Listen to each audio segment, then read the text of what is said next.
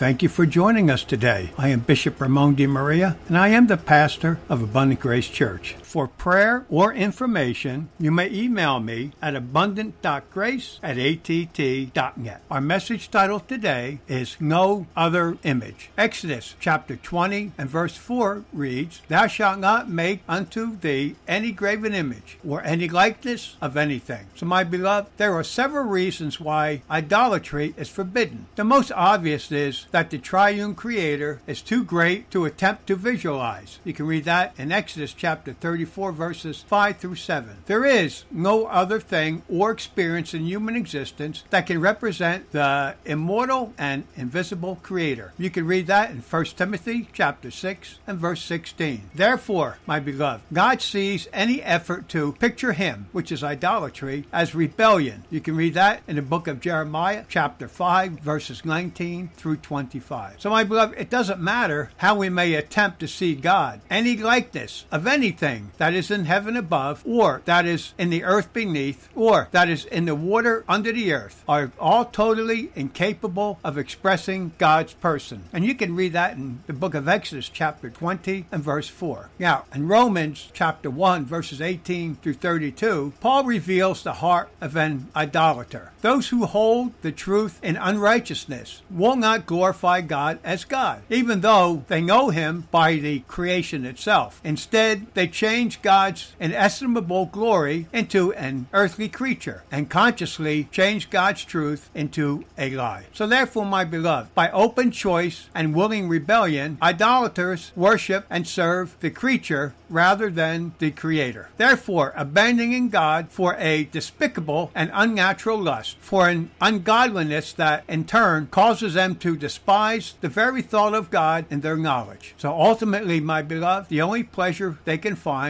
is among other idolaters. In Acts chapter 17, verses 22 through 29, Paul taught the philosophers that the heart of idolatry is rejection of God as creator. Idolatry, in any form or practice, strikes at the heart of salvation because he that cometh to God must believe that he is, and that he is a rewarder of them that diligently seek him. You can read that in Hebrews chapter 11 and verse 6. So, my beloved, nothing should be esteemed above God. Let us pray. Father, in Jesus' name, we thank you for your message today. We know that at times we fall short and put created things before you, our Creator. Help us not to do so. Convict us when we do. And we thank you, Father God, for blessing us and keeping us in your care. In Jesus' name we pray and thank you. Amen. My beloved, have a great week.